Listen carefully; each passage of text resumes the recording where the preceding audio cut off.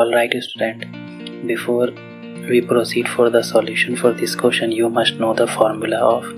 elastic potential energy. Elastic potential energy is equal to half into stress into strain into volume. If this means that U by volume is equal to half into stress into strain, U by volume is called energy density. So this come out to be the formula of energy density is half into stress into strain. So in this question the ratio of energy density to steel rod is 1 is to 4 when same mass is suspended from the rod. If the length of both the rod is same then the ratio of diameter of rod will be. तो according to question u1 one by u two is one by four suppose ये दो steel rod हैं same masses attached हैं दोनों steel rod हैं that's Y Young's modulus का value same है that is Y and Y according to question length is also same and we have to find the ratio of diameter D one by D two तो you know energy density is half into stress into strain that is half into stress और यहाँ अपने strain का value लिखा है stress by Young's modulus because you know from the Hooke's law stress by strain is equal to constant तो so finally you get half into stress square by Young modulus after solving U is equal to half stress is basically force by unit area into Y and after solving area is equal to pi r square you get half f square pi r square whole square into y. But you know that the radius is diameter by 2 so finally you get f square by 2 pi square t power 4 by 4 into young modulus here um, and you can notice 4 force 2 pi and young modulus is constant according to question. This means that the energy density is inversely proportional to diameter per power 4 so you can write u1 by u2 is equal to d2 by d1 per power 4 and according to question u1 by u2 is 1 by 4 so after solving you get 4 is to 1 per power 1 by 4 4 is basically root 2 per power 4 so after solving you get the ratio root 2 is to 1 is the answer तो in this question the bulk modulus of a sphere object is B and it is subjected to uniform pressure P and we have to find the fractional degrees in the radius that is delta R by R का value हम लोगों को find out करना है। तो suppose ये मान लो एक स्फेयर है, इस पर प्रेशर एग्जर्ट हो रहा है। ओके तो you know the formula for bulk modulus is pressure by volumetric strain that is B is equal to P delta V by V here minus sign is indicating the decrease in volume when pressure is applied okay आपको basically fractional decrease find out करना है। तो delta V by V is equal to P by B now volume of sphere is 4 by 3 pi R cube अब यहाँ पर हम एक concept use जो आपने पढ़ा था एरर एनालिसिस चैप्टर में। तो वही is equal to four by three by R cube के लिए एरर एनालिसिस से आप लिख सकते सकते हो। Delta v by v is equal to three times delta r by r तो solving from equation one and two you get three delta r by r is equal to p by b और delta r by r is equal to one by three p by b is the answer in this question four wire are made up of same material which of the following has the largest extension when same tension is applied तो suppose ये four rod है one two three four same material है that's Y सभी के लिए Young modulus का value same होगा। Same tension apply किया गया है। डेट इज़ टी तो एक्सटेंशन मीन्स डेल्टा एल का वैल्यू आपको फाइंड आउट करना है। You know the formula for Young modulus Y is equal to stress by strain by Hooke's law and stress is force by unit area and strain is change in length by original length. Solving you get fl by a delta l. तो delta L is equal to F L by A Y that is F L by area is basically pi D square by four into Y this mean that delta L is equal to four F L pi D square into Y okay here four F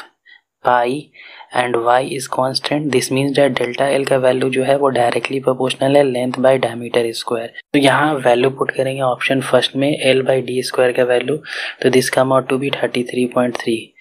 L by D square का value option B में put करेंगे तो this come out to be 200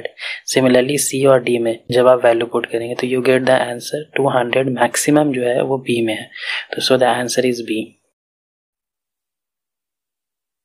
okay according to question the depth of the ocean is twenty seven hundred metre and the compressibility of water is forty five point four into ten to the power minus eleven per पास कर okay and the density of water is 10 to the power 3 kg per meter cube. The fractional compression of water will be obtained at the bottom of the ocean. Okay so suppose this is ocean uh, of depth 2700 meter and according to question compressibility of water density of water is given and we have to find delta v by v तो bulk modulus का आपको formula पता है this is change in pressure by volumetric strain that is B is equal to delta P upon delta V upon V and we have to find delta V by V therefore delta V by V is equal to delta P by B but you know the compressibility is basically the reciprocal of bulk modulus that is K is equal to one by B तो you can write delta V by V is equal to delta P into K but fluid mechanics में आपने पढ़ा था कि जैसे जैसे आप depth में जाते हो प्रेशर इंक्रीज होता है। और उस प्रेशर फ्रैक्चर का फॉर्मूला आप देते हो rho into G into H तो that is delta P is equal to rho G H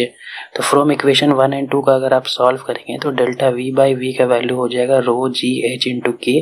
अब आप वैल्यू पुट कर दें डेंसिटी का वैल्यू है ten to the power three G is nine point eight one and according to question depth is twenty seven hundred metre and K value is given after solving you get the result one point two two six into ten to So in this question, copper fixed volume V is drawn into a wire of length. When the wire is subjected to a constant force F, the extension produced in the wire is delta L. Which of the following graph is going to be straight? Okay okay, तो suppose ये copper है इसका volume जो V है ये fix है इसको एक रॉड में कन्वर्ट कर दिया गया है जिसका लेंथ जो है वो एल है और इस पर एक पार्टिकुलर फोर्स अप्लाई किया जा रहा है एफ़ जिसकी वजह से इसमें एक्सटेंशन आया है डेल्टा एल तो अकॉर्डिंग टू क्वेश्चन वॉल्यूम जो है वो कांस्टेंट है You know, Young modulus is stress by strain and stress is force per unit area and strain is change in length by L. तो you get y is equal to F L by A into delta L तो यहाँ से delta L is equal to हो जाएगा F into L by A into Y area को आप लिख सकते हो volume by length this means that delta L is equal to F into L by volume by volume by length into Y that is F L square volume into Young modulus but यहाँ पर force जो है और volume और Young modulus ये value जो है constant है। This means that change in length delta L is directly proportional to L square इसका मतलब जब आप डेल्टा एल और एल स्क्वायर का ग्राफ बनाओगे तो वो स्ट्रेट लाइन आएगा। This is the answer so in this question there is two rod one is of steel and another is of brass दोनों का जो एरिया ऑफ़ क्रॉस सेक्शन है और लेंथ जो है वो सेम है। एक्सटेंशन अगर दोनों में सेम प्रोड्यूस हुआ है तो आप बताएँ, उसमें से जो मास अटैच किया गया है, उनका रेशियो क्या है? Okay and given is that Young modulus of steel is twice that of brass तो सपोज़ ये दो रॉड है steel and brass length is L and area of cross section is A and attach to the same roof okay okay, यहाँ पर मैंने दो mass attach किया है W S and W B दोनों में जो एक्सटेंशन है अकॉर्डिंग टू क्वेश्चन वो सेम है that is delta L is equal to same is constant according to question Young modulus of steel is twice that of Young modulus of bulk modulus and length of steel rod is equal to length of brass rod and area of cross section of steel rod is also equal to area of cross sectional of brass rod and according to question it is extension in steel rod and extension in brass rod is also same and we have to find ws by wb so you know young's modulus is stress by strain and stress is force by area